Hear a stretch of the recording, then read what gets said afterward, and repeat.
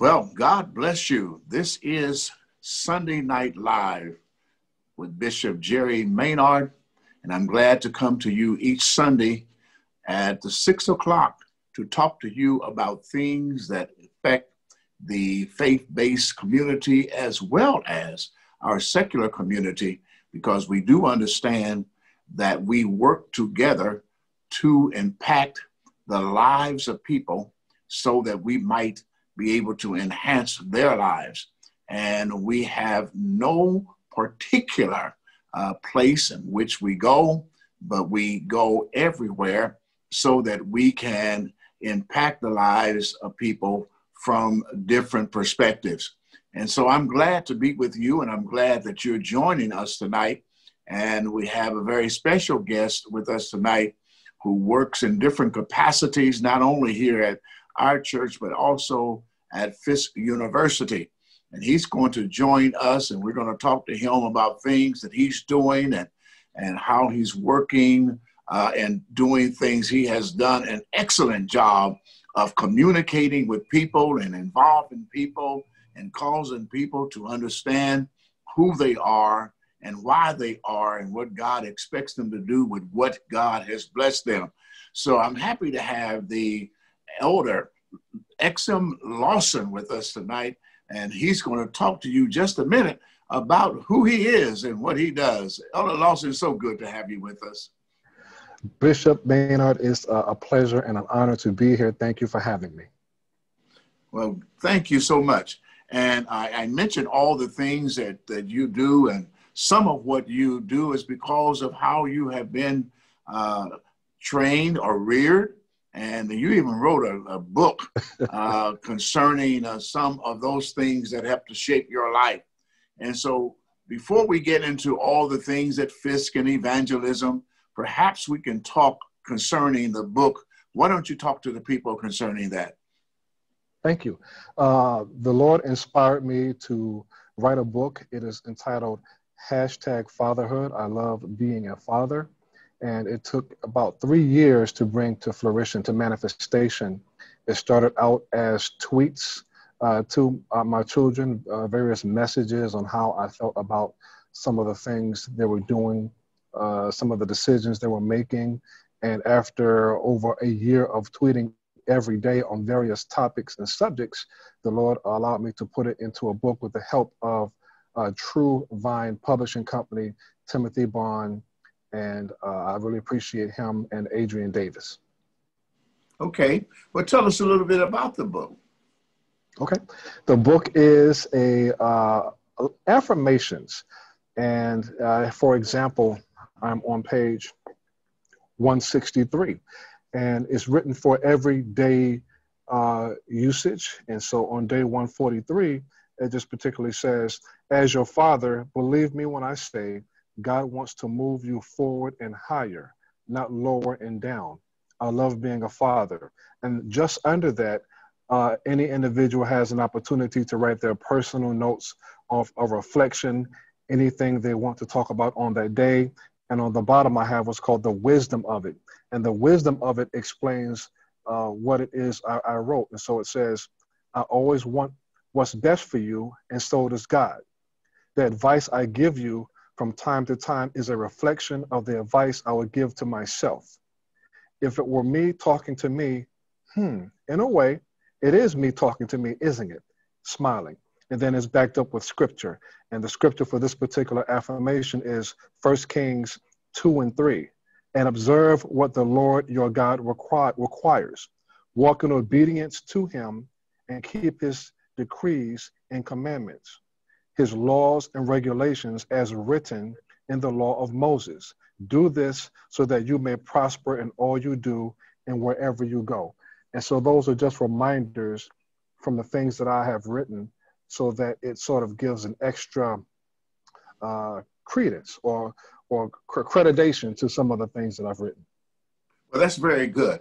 Now, when, when you uh, look at yourself as a father, I am sure that you uh, have somewhat of a parallel uh, within your mind, uh, God, our Father, mm-hmm. and you, a father. uh, he is the father of the world, and you are the father of certain children uh, yes. who you've had. And but the kind of energy that God spends for uh, the world, you have to expend that kind of energy for your family. And all of that then comes out of the love that you have. So mm-hmm. the question is in this book, uh, you're writing out of the love because you obviously are thinking of your children uh, being involved in the world and you want them to be equally as successful or more successful than you. Uh, and, and, and, and you're sort of paving the way with that book. Is that not correct? That, that's absolutely true, Bishop. Uh, I, I, look at parenting, or I've come to look at parenting as a child, uh, as being a child of God myself. Uh, justice and mercy, uh, things that I want out of my life, I can't do without God. And so, whenever I write something or I'm teaching something to them, I try to tie it in with how would God speak to me? What would I want from God? So that as they as they continue to uh, navigate life and make decisions, that they understand that that they too have to uh, look at life and look at situations as not just themselves alone, but themselves making a decision with God in the middle of it, or as you always teach us, um, whatever, whenever you try to make a decision, include God in your decision before you make the decision, or or within the beginning of the process so that you don't end up in the middle of something and then having to call on God and then having to need God.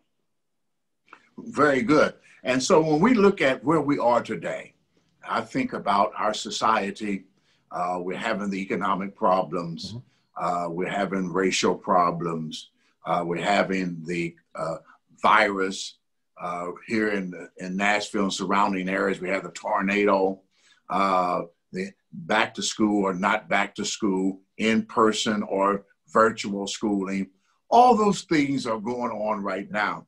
And so your children uh, are looking at you and they're seeing how you are handling these things. So let's say to you, uh, from uh, your understanding, how does your attitude impact uh, the attitude of your children? That's a great question. Uh, it's very important that I live for God and that I continue to lift God up. Uh, the, the, examples that I have before me are my mother, Hattie Lawson, my father, Lee Lawson, and um, my wife, Regina Lawson, who helped inspire me to write this book. And of course, uh, you, my pastor, uh, you, you are the examples that I hold dear to me every day no matter what is taking place.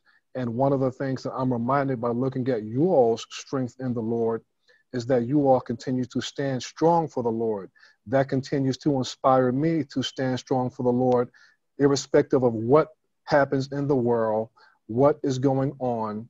And so having that kind of leadership around me and to pull from allows me to continue to stand strong for the Lord so that our children can continue to stand, strong for the Lord because I will be the closest thing to them in terms of uh, uh, spiritual leadership and guidance.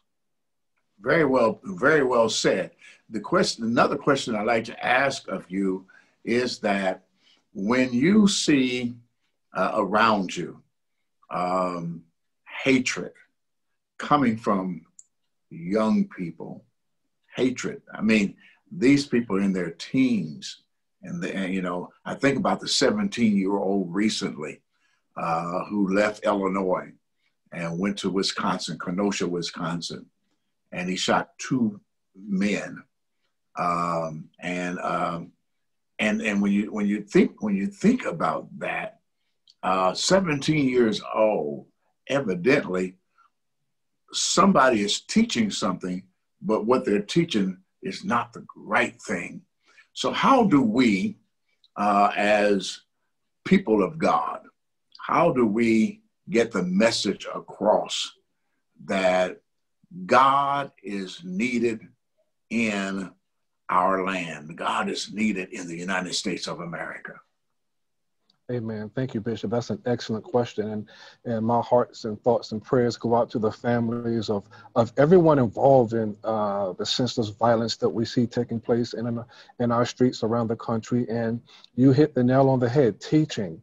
Uh, one of the things that uh, Regina and I have tried to do with our children is teach the Word of God, live the Word of God, and uh, rear them uh, in the church so that they have a foundation of, of, of sacrifice when it comes to God. I believe that the truth must, uh, the scripture says that you, you shall know the truth and the truth shall make you free. And so uh, there's bad teaching taking place throughout our land. And those of us who, who know the truth, those of us whom have been made free, we have to continue to speak God's truth uh, in season and out of season uh, and just continue to, to, to, to show by our, how we live our lives and the things that we do that God is in control, God is on the throne, and that at the end of the day, truth will always uh, win out. And that's what we have to do. Remind them that truth will win out in the end. It may not always feel like it. It may not feel like it in this moment. It may not seem like it in this moment. But one thing that I enjoy uh, uh, reminding myself of is that the victory has already been won. Jesus Christ, through him, the victory has already been won. And because of that truth, it gives us comfort and peace that we must continue to just lift up the truth. Okay, so we continue to lift up the truth. Uh, and and in in our society today, we have people on as as as the famous words are people on both sides, you know, uh, uh, which the, the, the word is, uh, you know, we're all good. There's good everywhere. and, uh, and so that being the case, how do we differentiate uh, from that which is rhetoric and that which is sound? Um, those of us who are in church, we hear uh, the words, speak thou the things of sound doctrine. That's what we hear soundness of thought and mind. But there are people who don't go to church, uh, and and people we're not reaching virtually.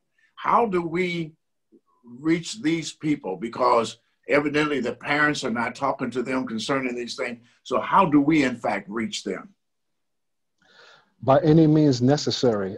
I think that's a Malcolm X quote, and that is through technology, through I, I, God has blessed me and placed me in a very unique situation, uh, and that I, I, am the program director of a, of a radio station, 88.1 FM, here on the campus of Fisk University, and so I produce uh, several talk shows. One of them being What's the 411 with Sharon Kay.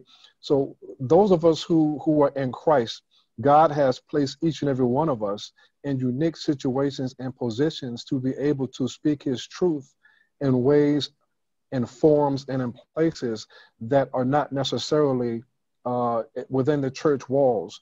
And so even even right now, this form right here, someone will share this form, someone someone will share this message, and it will be it will go beyond the church walls. And someone who was not necessarily engaged in church on a regular basis may not even be a Christian, may may listen to this message and glean something from this message that has uh, God's word and God's truth in it that can change their lives. Very good. I want to just talk about that since we're there at Fisk. You've been at Fisk now for how long? Uh, at this point, uh, 15 years. 15 years you've been at Fisk. Years. All the students who have come and gone, some of those students that we know of now are are running companies and doing yes. things who pass through yes. and you you've had opportunity to interact with them. And on uh, and, and doing the radio programming uh, you've had guests and you've been the host of many people. Yes. Uh, so fisk university has afforded you the opportunity to impact the community. And what do you feel that you offer? Uh, i know you're a man of god and so you offer jesus but what in addition to Jesus, what do you offer uh, the people with whom you come in contact, who you don't see, but you know they're out there listening? Yes. We, I, I would like to believe, Bishop, and that's an excellent question, that, that I offer them hope. I offer them a, a, a an ear to speak. Sometimes people will come to my office and just sit down and just just talk. Uh, whether it be students that just want to get things off their chest about professors or about finances or about whatever is going on in their lives. People in the community will stop by, or they used to before uh, the, the, restrictions due to COVID, but they would come by just to say, hi, hey, listen, I, I heard the show uh, with, with you and, and Sharon Kay on the other day, or I heard your gospel program, and I just want to say thank you. You know, I feel lifted up. Uh, we also give the uh, community an opportunity to have an outlet for uh, various programs that are taking place in the community. Uh, earlier, I believe we had you on after the um, uh, hurricane, uh, was it the tornado that, that came through Nashville, and we talked about some of the things and some of the resources that Cathedral of Praise uh, had for the community. So we also serve as an outlet to get inf- to get information as well as news out to our people in the surrounding uh, uh, community because it's a it's a benefit. I I see what I do here, even from day one when I came here.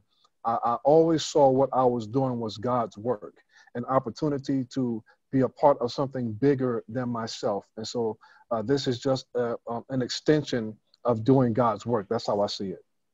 Praise God. And so you, you've impact people because one of the things that you have realized, I'm sure, that not only uh, does the station through you offer entertainment, but it offers education.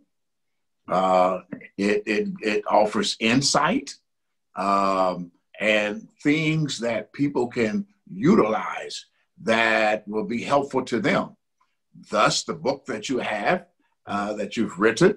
Um, so I, I, I'm excited about what you're doing at Fisk University uh, I believe that you've even impacted the uh, male basketball team and the female basketball team, and you had them come over. We were able to provide lunch, well, breakfast, lunch, and dinner. I think. Yes. Uh, yes. We and that that came through you. So interaction. We we provided a service for them through you. So here again, you're not just a person who thinks about yourself, and you're not selfish. So let's let's talk a little bit about how you stopped being self-indulged. how, how do you stop me, me meaning a person? How you yourself, you Elder Lawson, oh, you stopped okay, being okay. self-indulged because I'm sure oh. you had. I'm sure that you you had goals and you had objectives. Yes. But all the time was not just spent for you. You've obviously been working with other people. Yes. Yes. Um, I think if I'm understanding the question correctly, it, it's a lot of it comes from uh, my mother and father. Uh, my mother was, uh, I grew up, I'm originally from Brooklyn, New York. And so as the story goes, my, my, my mother uh, is, is Pentecostal. She's from uh, North Carolina originally. My father, uh, Baptist. he's from Selma, Alabama. And I went to a Baptist church every Sunday. I went to Catholic school on Monday through Friday. And so I, I, got a double dose of, of, of, of of Pentecostalism, that Baptist and Catholic all wrapped up into one. But my, my mother was the head of the PTA on our block. And so my block, Spencer Street in Brooklyn, New York, was a melting pot. Uh, I had Italian people who lived across right next door to me. There were Jamaicans who lived across the street. There were uh, Puerto Rican people who lived across the street. So, and we all got along. We all knew one another. And my mother was the head of the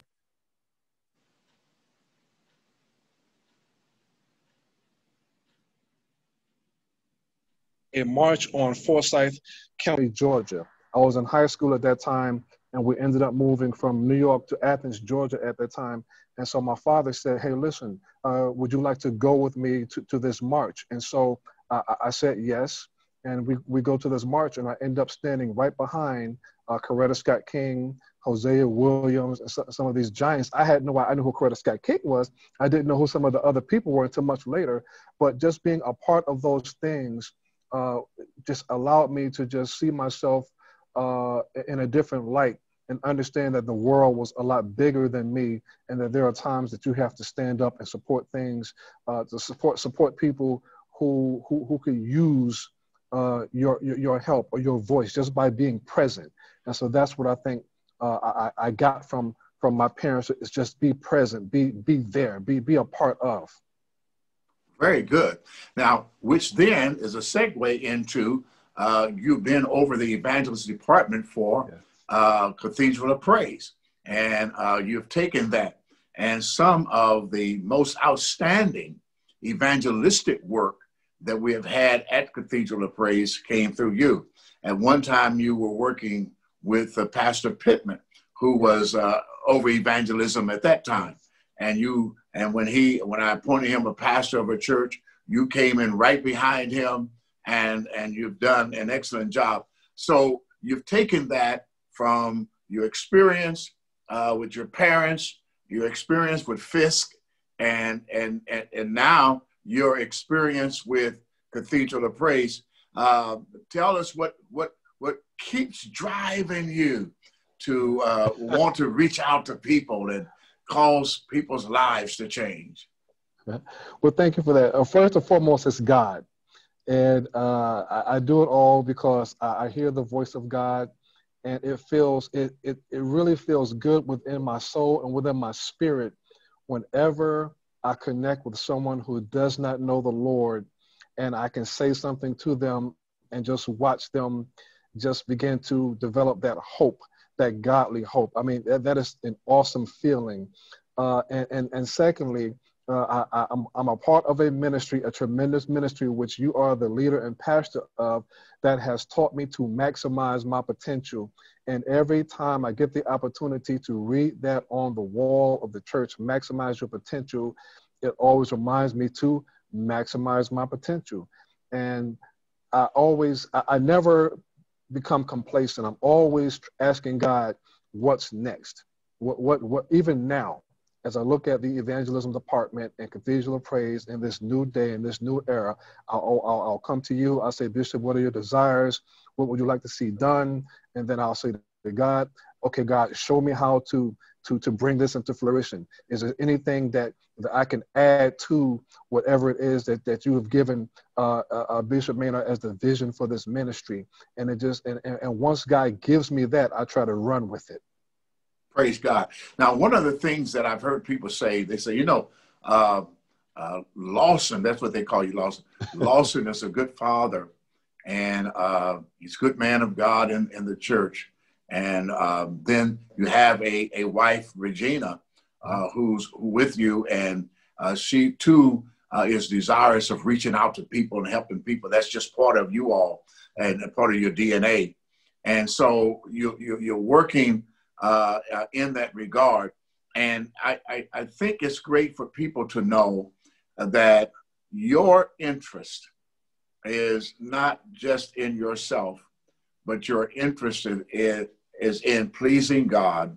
And the way you please God is by helping the people of God, Amen. whoever they may be. And I don't see you looking at certain groups of people uh, in a different uh, a higher echelon. I see you reaching people, period. And again, uh, speak to that, and then we're going to ask you another question. Okay? Sure, sure. Yes. I, I believe that that there is no color, that there is there's nothing that should separate us as followers of Christ. Um, I do believe that each and every one of us carry our, um, for instance, it's, it's very obvious that I am a black man. So uh, if I may sort of segue, you know, I, I, I, I look at how you preach your messages, especially in times of some civil unrest that we, we see taking place in our country. And we have uh, the words I choose here, we have uh, multiculturalism in our church, and you, you teach us to, to reach out. But I'm also learning from you as you continue to uh, teach a message of self awareness, godly righteousness, but at the same time, using the scriptures to remind us that this thus saith the Lord. Yes, I'm a black man. Yes, I have issues and principles of that, that need to be addressed through social justice. But as but in, in addition to that, here's what God has to say to all of us.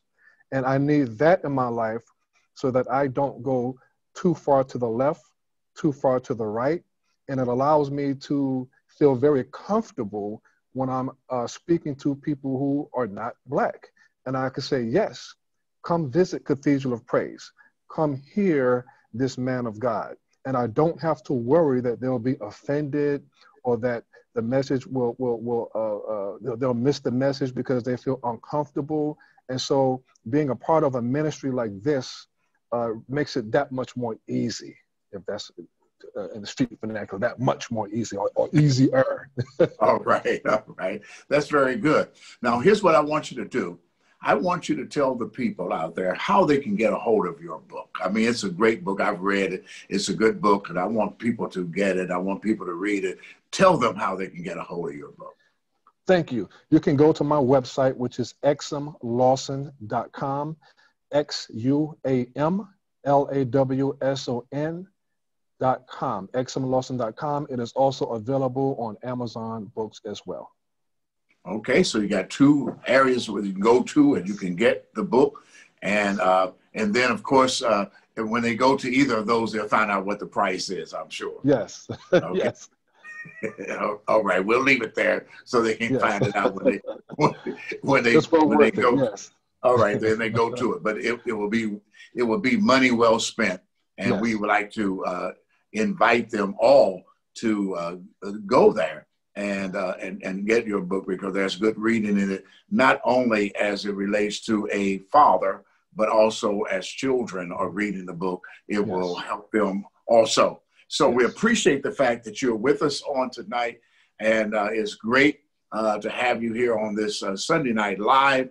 And we appreciate all the things that you do for Christ and for the people of God, and even those persons who don't know God, because you have shown yourself to be a person who is in touch uh, with the Lord. And for those of you who have been watching, thank you so very much for joining us uh, in this Sunday Night Live.